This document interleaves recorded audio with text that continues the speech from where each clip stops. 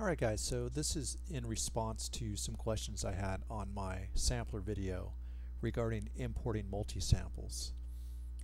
What I had done was I had a folder, not sure where that folder is now, but it was generally a, a folder like this that had a bunch of multi-samples in it, but it had an extra file that I dragged in that created the whole layout. Now in response to that, it doesn't really matter where that came from as Ableton reads most sample CDs multi-sample files. So pretty much whatever you drag in there that has a multi-sample file will be read by Ableton.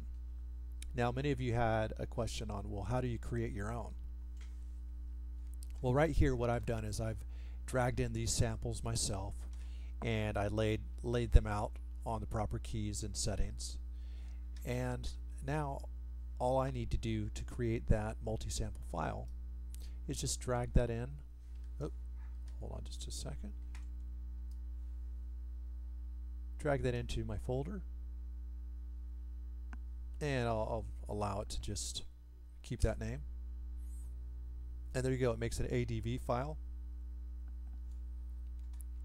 And now, if I get rid of this here, drag this file in as a new instrument. And there we go. We've got our multi-sample all set up. So,